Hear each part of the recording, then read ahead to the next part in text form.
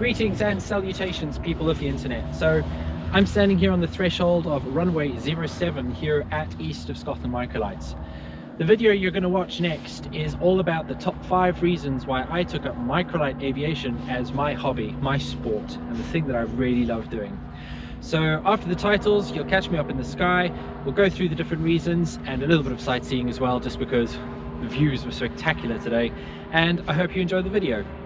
If you've not already, please don't forget to subscribe using the button below. And every once in a while, I'll pop it a little reminder of some of the videos up top so you can have a look at some of the other things as we go through the movie. Enjoy, we'll roll the titles, and I'll catch you on the other side.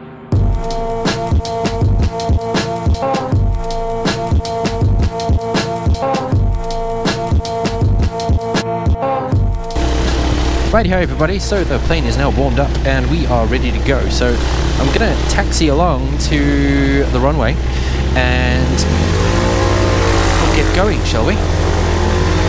if the plane will move. Wet grass. So as you can see from the windsock over there, there is no wind today. So we're gonna be departing from runway 11 uh, and we'll get up in the sky and then I'll tell you everything that I've got to say today. Quite exciting stuff, actually.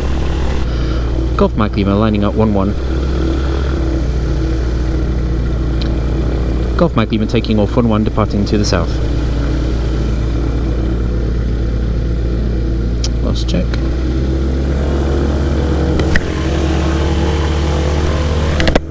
Here we go.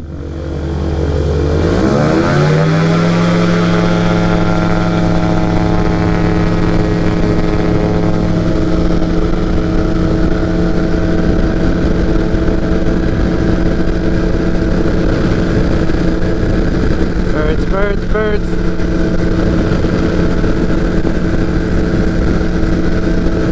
That was interesting. As I took off there, there was a massive flock of birds literally flew straight into my path. Thankfully, it's uh, they got out of my way. Wow, it's looking really nice up here today actually. When I left the house earlier, it was actually not looking very nice. It looked as if it was going to be really cloudy and a little bit horrible but it all has kind of opened up for me a little bit. So I'm kind of hoping we might get some pretty nice flying in. As I was saying in the introduction earlier, I wanted to kind of speak about the five things that actually made me want to take up microlighting in the first place. A lot of the things that, that kind of make someone want to take up microlighting as a, as a hobby or a sport differs. They, each person's reasons kind of tend to differ. Everyone I've spoken to about why they do it and what it is that they get out of it, everyone has their own thing. So I thought, I'll make a little bit of a video and kind of talk you through some of the reasons why I decided to take up microlighting. So, reason number one why I wanted to take up microlighting. Reason number one stems from me as a child. Now, when I was a kid, I always wanted to fly. I loved the Superman movies. They were just bread and butter to me. Seeing some guy, obviously wearing some pretty dodgy outfits, flying around the skies was just magical to me. And it's something that I always think about, even now that I'm an adult, a certain age, and flying larger airplane around the sky. So I don't exactly have a cape. If I did, my propeller is behind me and it would get ingested. Uh, so that's not a good idea. But the concept of flying to me has always been with me ever since I was a child. One of the funny things that I always think about when it comes to me flying around as a child was when I was really young, probably about eight or nine years old, and I lived back in South Africa, I used to run around in the roasting heat on a summer's day in the back garden, pretending that I could actually take off and fly. And I used to have this really weird sort of thing that I would do, and I can still remember it to this day, where I actually used to tap my thigh on my right hand side in a certain way, and that's what suddenly made me able to go flying around. So I had these special powers, huge imagination, even then as a kid. So I'd tap my legs in certain ways and then go flying around. But obviously the imagination runs riot as it does when you're that age. And one of the next things that I then realized I needed to, to do was I would need to be invisible because you wouldn't want to scare people that you're when you're flying around.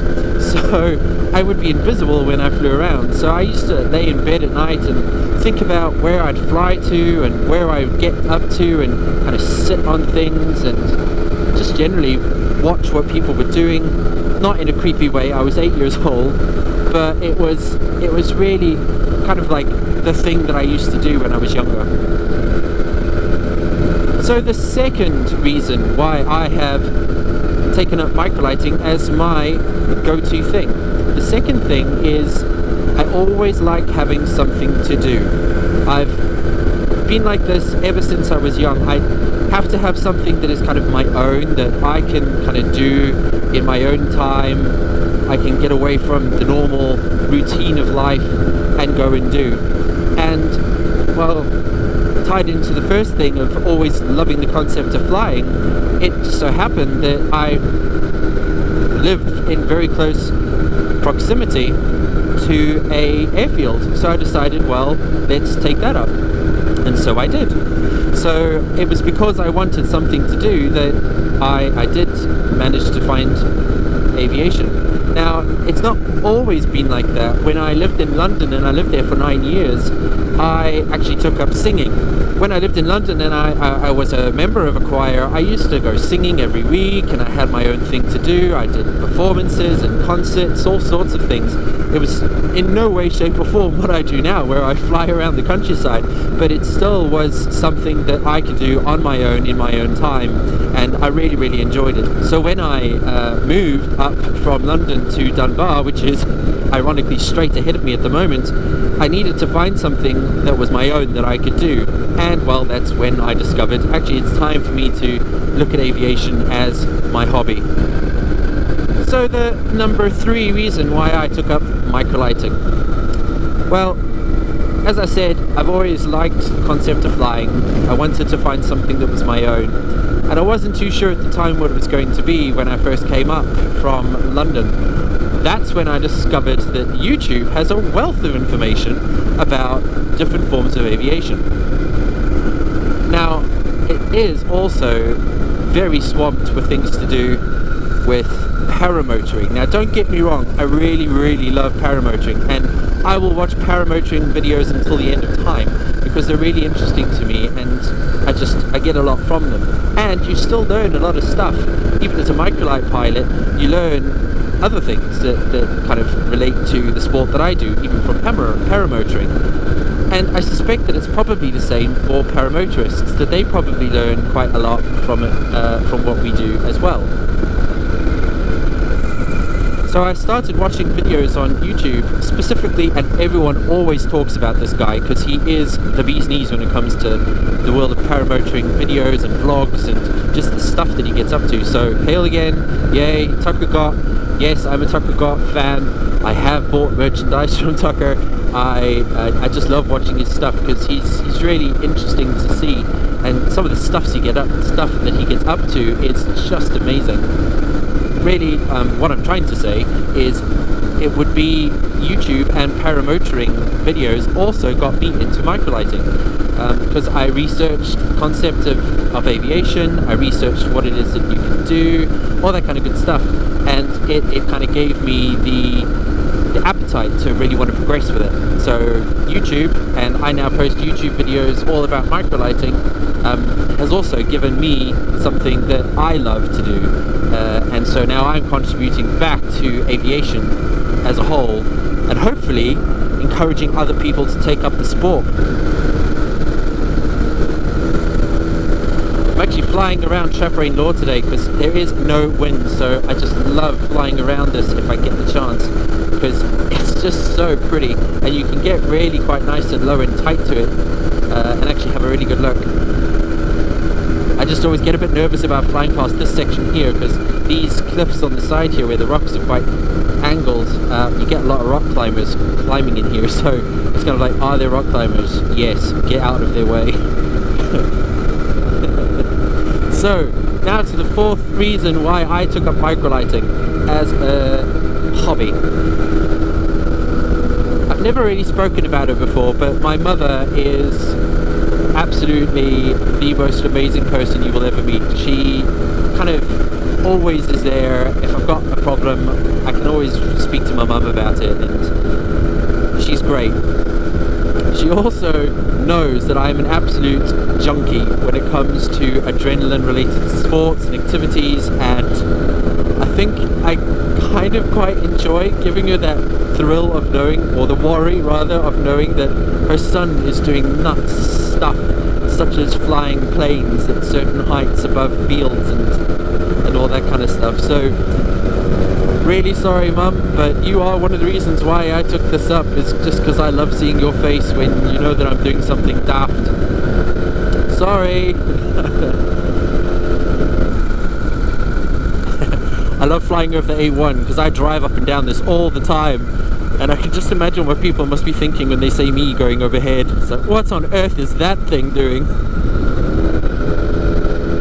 So we've got a new statue here in Dunbar. Uh, it doesn't have a name yet, but it's by the very famous or well-known artist that um, designed and built the Kelpies, which is uh, the kind of gigantic horse structures uh, out towards kind of Falkirk way, where the Falkirk wheel is. It's nowhere near as big as the Kelpies, but it's it's actually proving relatively popular uh, here in Dunbar. Um, but I always kind of wish it was a little bit bigger. Just I think it would have been pretty cool. There's a few people down there actually having a look. It's it's really I love it. I think it's really cool. It's really pretty and it's designed in the same way as uh, the kelpies are. It's kind of those slatted bits of material, uh, material, those slatted bits of metal, um, which makes it quite interesting to look at, and you get really interesting shapes and kind of sun coming through it. It's really cool. I like it. Doesn't have a name at the moment, although everyone's thinking he's probably going to be called something like Dunbear, which would be my favourite name, I think. Maybe a little bit low. Hello, Dunbear. Right, so the number five reason why I took up microlighting as my hobby. As with any hobby, you've got to train. Especially for something like this, you've got to do a lot of training. There's a lot of work involved. There are exams, all that kind of stuff that you've got to sit. So it's it's quite a lot of work.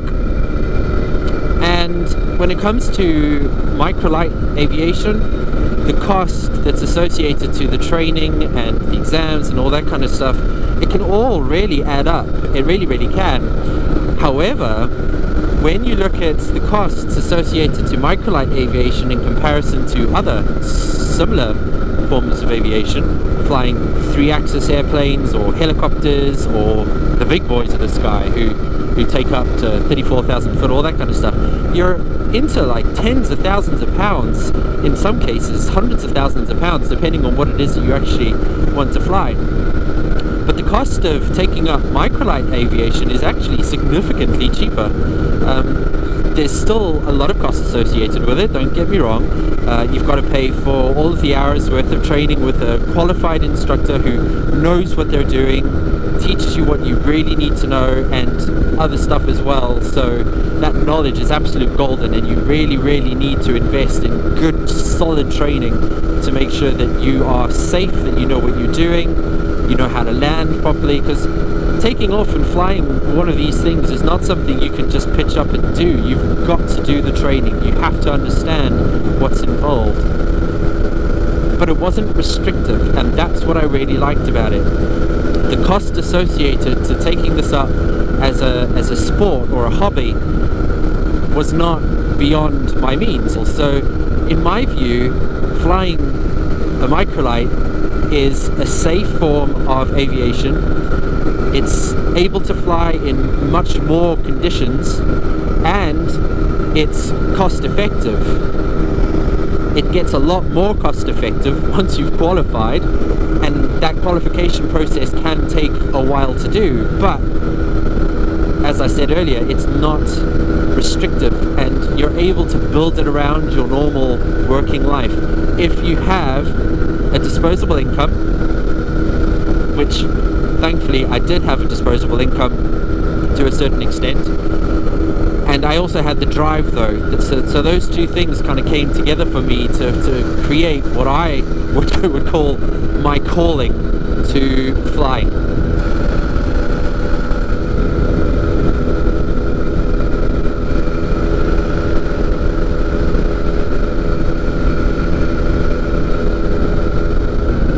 Ooh, the temperature's getting cold. Ooh, freezing actually.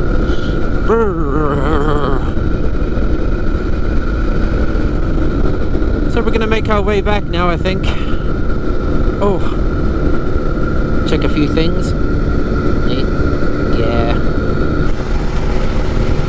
East Fortune traffic Golf Charlie Charlie Mike Lima inbound from the northwest, 1500 feet, 3 miles to run.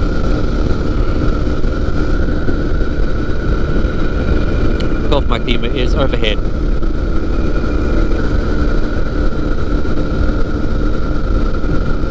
Right, so we are now in our final stage of landing back at the airfield. I hope you enjoyed that flight. Yeah, I certainly did. It was awesome. And uh, yeah, so make sure you subscribe if you haven't already. Uh, it's really worth doing because then you actually know when I've posted new content. Especially if you click that little notification bell. Really worth doing. So we're going to come in for a landing on runway 29. Golf Mike Lima, downwind 29. Golf Mike Lima, final 29.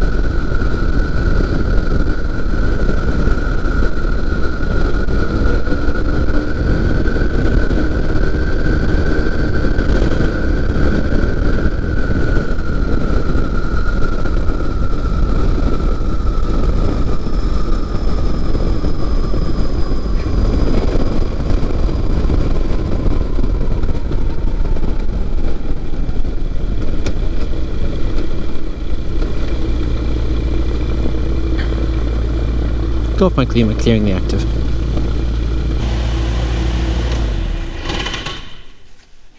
Oh, at least I can feel my hands. Positives.